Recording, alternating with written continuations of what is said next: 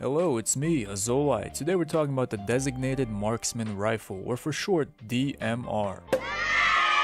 Definitely one of my favorite Halo weapons, so I want to discuss some things about it. Because I believe that DMR, our king of rifles, our long-range precision beast, needs some changes. Changes dealing with stats and aesthetics for Halo Infinite. Now this is not going to be an in-depth review of the DMR because we've already done multiple analysis videos on that. They go into the fine details and they're already up on YouTube. Instead, I like to focus on some changes I like to see from our current DMR to the one in Halo Infinite. So let's go over some stats and discuss them. In terms of hipfire red reticle range, the DMR sits at 45.72 meters, and for smart link, the red reticle range increases to 128.01 meters. So as discussed many times before, these are the effective ranges, giving you extra reticle and bullet magnetism. In other words, increased aim assist is active and landing shots is easier. Now for Halo Infinite, I don't believe the DMR needs its red reticle ranges changed drastically, given that this weapon is meant to function as a long-range precision rifle and excel at long range combat, I think these red reticle ranges are fine. In fact, I think these ranges should be greater compared to the competition, and I'm talking about the Magnum, Light Rifle BR, and Carbine. And when we do compare RRRs side by side, we see that the DMR consistently comes out on top, and that's good. In my opinion, it should be that way. Now some might say, oh well that just makes the gun OP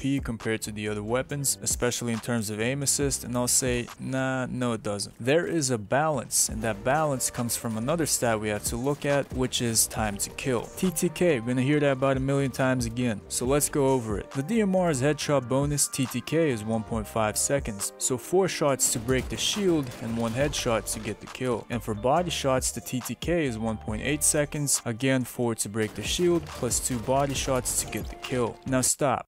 I want you guys to look at this TTK. The DMR's optimal kill time is the longest out of every other precision weapon in Halo 5. So Light Rifle, Magnum, Carbine, and BR all have faster kill times. So despite the fact that the DMR has greater red reticle ranges as we just saw, it does not mean that the weapon is overpowered compared to the competition. In fact, it is a mix of RRRs and TTKs that balances out the other weapons and the DMR within the sandbox. In other words, lower red reticle ranges and faster TTKs versus longer red reticle ranges but slower TTKs. This way the medium range weapons such as the Magnum and Carbine have an advantage at medium ranges and the DMR gets an advantage at longer ranges. Thus at those distant gunfights the DMR is still able to maintain its consistency over the other weapons and allows you to hit that 1.5 second TTK more consistently. Personally I believe 343 nailed this weapon balance perfectly. Maybe a slight readjustment for weapon ranges will be needed because of map design in Halo Infinite but overall Halo 5 5's concept is solid in my opinion, so hopefully Halo Infinite follows a similar route with respect to the weapon sandbox. And speaking of weapon sandbox and balance, there is one giant ass elephant in the room I have to address. it's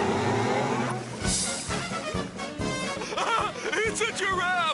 Man, good old bullet magnetism. So I'm going to refrain from ranting about it for this video, but most of you already know I hate high bullet magnetism. But unfortunately, like every other weapon in Halo 5, the DMR has some insane bullet magnetism. I mean seriously, look at this. The reticle is literally like 99% off the target, yet this counts as shot registration. How? How does this make any sense? And how the hell can anyone look at this and say, oh, this is fine, no problem here. Now you guys gotta understand, I'm not completely against bullet magnetism because I understand you need some of it. Not everything can be a pinpoint accuracy sweatfest and some of it is needed for smoother gunplay. Pretty much all FPS games use bullet magnetism to some degree. But God damn, if your reticle aim is this garbage, this, this freaking shit right here, then no, you should not be rewarded with hit registration. Get that shit out of here, get it the fuck out. Christ almighty, how the fuck? Alright, I'm gonna calm down. I promise I wasn't gonna rant, so hello, it's me, Aozolai again. Let's continue with the video. Anyway, all I'm gonna say is hopefully Halo Infinite's DMR has less bullet magnetism, and the entire weapon sandbox has less of it in general. Good god, please decrease the shit. Anyway, that's all I wanted to discuss for the weapon stats, so now let's talk aesthetics, the design of the DMR. And I'll be honest man, I'm not a fan of how the DMR looks in Halo 5. Primary issues, the damn scope is weird. It's way too close to the player's face and the position of the weapon model just looks awkward. Literally I suffer from iridocyclitis when I look at this DMR. Iridocyclitis. Oh, Now the weapon frame. Yeah, I can't say it's bad. I actually think it's decent. Kind of an improved version of the Halo 4 frame, but overall, still not really sold on the design. Personally, I think 343 needs to go back to the Halo Reach design. In my opinion, it just looks better. But if they don't want to and they really love this Halo 5 DMR design and they believe it should be the final form, then I'm fine with that. Just please, for the love of Halo, change the damn scope on this weapon. Like redesign it or design a completely new scope that just looks better. And also has an ammo counter like in the previous games. God, just look at that scope. I mean, every time I look at this thing, oh man, this this is literally me. Oh! And by the way, if you have an idea, 343, of replacing this with the Sentinel scope, I mean, I'll admit, this thing does look pretty cool, but it is designed way too big and should have been way smaller in Halo 5. Just another scope that makes my eyes suffer.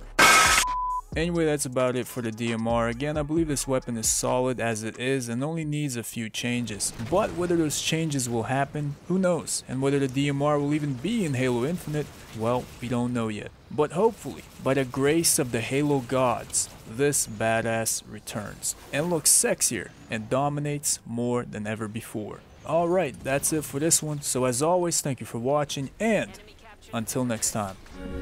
So